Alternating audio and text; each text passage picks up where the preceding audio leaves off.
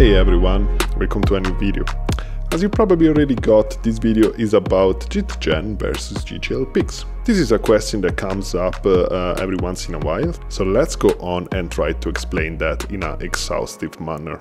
Let's start with the obvious differences. So JITGen works with matrices, and I'm pretty sure you know what a matrix is in Max, but uh, let's open the documentation. Uh, so we go into help and then we go into reference, right? And it doesn't matter where we land, but we want to go for the page. What is a matrix or something like that? Let's see if we find it. Window documentation, yeah, there it is. So a matrix uh, here says that is a grid uh, with each location in the grid containing some information. How I like to describe it is that a matrix is a multi-dimensional container for data, because that's what it is basically. It can have a lot of dimensions. Each dimension, uh, which we can also imagine as a grid if we have a two-dimensional matrix, each cell of this uh, container contains some data, which is numbers, and this data is not tied to anything in particular. It's just numbers, just a bunch of numbers uh, contained in um, in a container, which is good for us when we want to have a lot of numbers processed at the same time. So, for example, a matrix, as we know, could contain an image. For example, if I create a JIT matrix object, which is the personification of the matrix container in Max, and then I just drop an image inside this matrix, like whatever, right? And then I can visualize this image with a JIP window.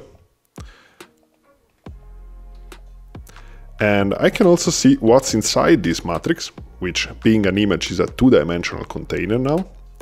And as you can see, is a bunch of number. We can see the values for each pixels of this image. So since an image is made, uh, since each pixel has four values for the alpha, red, green, and blue channels, uh, we can see all the four values of each pixels inside this image. And uh, they are contained inside what in Max is called a matrix. So JITGen works with matrices.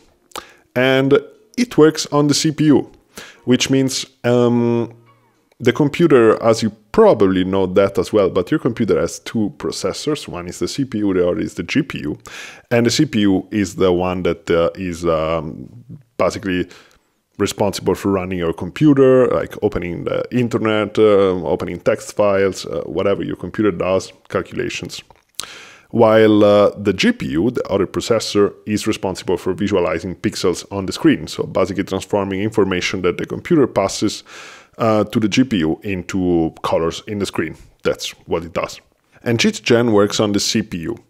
Now, the CPU has already a lot to do with uh, all the stuff that the computer does on the background, like running processes all the time, and um, and also the CPU has a limited amount of cores. Like there's mostly like eight cores or, or whatever. I don't even know what how many cores this this Mac has, but they do kind of complex operations. While the GPU um, has a lot of cores and it doesn't make complex operations but can make a lot of operation in parallel because it has a lot of cores. So all the information will kind of stream down to those different cores and being processed in parallel. And it's mostly not complex operations so that's what the gpu is great at. So JITGen works with the cpu and mostly when we want to work with images we mostly want to work with a GPU, and JITGen works on the CPU, so not really good for working with images, because an image is basically a big array of um, values, two-dimensional values, and these mostly we want to process them all at the same time in order to make the process faster. So when we want to work with images, the best way is to work with a GPU, so not with JITGen. So what JITGen is usable use it for, actually? Well, 99% uh, of the time I use JITGen with uh, GGL Multiple and GGL Mesh. So, for example, if I want to have like um, um, some vertices displayed on the on the screen, I will create a GGL mesh which will draw some points. Uh, will make the point size kind of bigger, and I will give it a color of white, right? And now I need a context where to render this stuff. Can get rid of this. So I will create a JIT world floating one. That's my uh, OpenGL world. And uh, I can, I have to in order to render those vertices in this world, I need to send a matrix to GGL Mesh. Now we say that GGen works with matrices, so it's the perfect tool to create matrices for GGL Mesh. Um, which will represent the position, for example, the position of vertices in the world.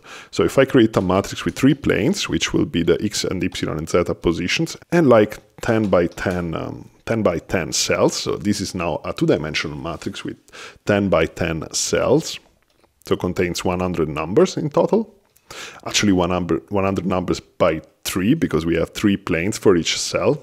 So as we saw before that we add four numbers for the pixels of the image, so we can have up to 32 numbers for each cell of this container and up to 32 dimensions. So yeah, it's kind of crazy, but we can have a lot of numbers inside this container. So if I double click on JITGen, it will open. And JITGen is, uh, we didn't say what JITGen is per se, but basically it's a matrix processor.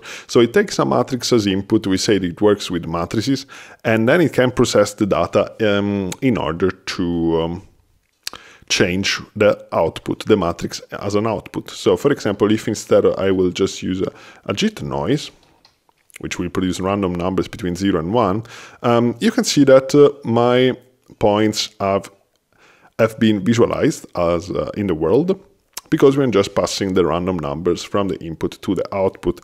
Using JITGen, I could add, for example, a fixed amount of value to all the three planes of the input, and then they will be just a bit more moved to the right. Or I could subtract this value from those numbers, and then it will move to the left, right? But I can also do that kind of in um, a dynamic way. So I could, for example, just do like this, let's get some parameters inside JIT uh, gen. So for example, I can create a parameter called time inside JIT gen. And I can connect this parameter to my outside patcher. And in this way, I can interact with what's happening inside JITGen from my patcher. We can say that the epsilon is going to be the cosine, the cosine of time. And then we also need to bang this input matrix. So yeah, that, that's a bit crazy. Uh, let's maybe do like this to have a better idea. Let's create a matrix which will be banged with the noise values. And then we can, um, let's make this value smaller like by 0.1 or something.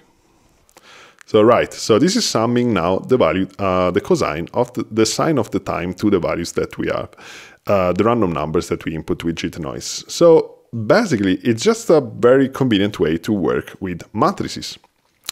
And uh, we want to use that mostly just with GGL multiple, GGL mesh, and uh, GGL NURBS, for example, GGL volume, there's a bunch of more objects, mostly GGL objects which only accepts matrices as input. So these objects only work with matrices like GGL Mesh. These uh, inputs that it has, these are all matrix inputs as it, as it says itself. So that's JITGen, right? And now GGL Pix, uh, it's a completely different animal. So what it does is that it works with textures. Now, what is a texture? A texture is a, bunch of data, very much like a matrix, that lives on the GPU memory though. So while the matrix lives on the RAM, on the uh, memory of the computer, the, um, the the textures, they live on the memory of the graphical processing unit, the GPU that we talked about. Also, a texture doesn't have an arbitrary amount of data like JIT matrix. We could say whatever up to 32, um, 32 numbers per single cell, we could say, while, GG, while a texture, which is represented in max with the GGL texture object, only has and always has four data for each cell. And it's only maximum three dimensional. So it can be one dimensional, two dimensional, three dimensional, but uh, that's it. We cannot have like textures with four dimensions, at least as far as I know.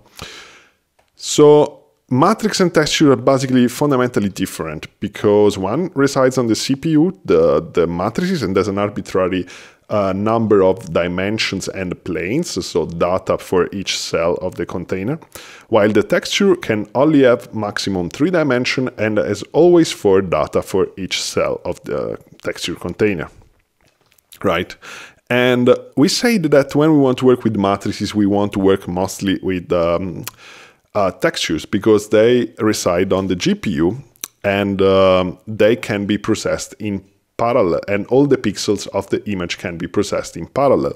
So for example, if we take a movie object with the attribute output texture 1, which means now our movie is going to output a texture, and we connect its output to a JITP window, then we can drop a movie inside it, whatever.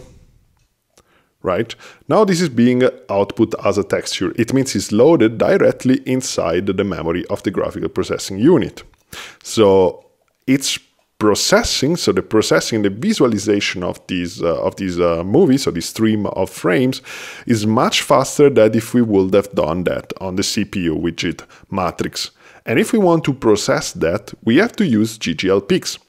So when you see an object that has this GL uh, thing in its name, it means that it's uh, an OpenGL object, with, which means that it works with the GPU, has something to do with the GPU. So in this case, GGLPix is uh, a processor of images or of texture actually to be more precise because a texture could also not be directly an image but uh, just contain some data that we could use for something else as a matrix as well which can be an image but also can be data that we use for something completely different um, while a GGLPix is as well, we can use the data for whatever, but it's maximum for planes, as we say, the maximum three dimensions. Um, but the difference with JITGen is that the data will be processed by the GPU in parallel uh, with a lot of cores, so much faster than if we would uh, uh, do that with JITGen. We can do that also with JITGen as well, it's just going to be much slower, so we could actually do that. Uh, have a JIT movie without output texture, attach it to the JITGen, uh, send out the same movie right? Connect this. Okay, so now it's working with matrices. Uh, and this process now, if we would uh, process this uh, texture yeah, as we are doing with uh, JITGen, we could, for example, just uh, um, make the values twice as big. Uh, this is much slower than if we'll do the same thing on the GPU with GGLPix. So when working with images and videos, always use GGLPix uh, and the GPU. So we mostly want to use JITmovie with the output texture. So for example, if we now do here the cosine of the input, uh, whatever, maybe multiply the input by 2 pi just for fun, then we can, uh, this processing is taking place on the GPU and is so much faster than if we will do on the CPU with JITGen.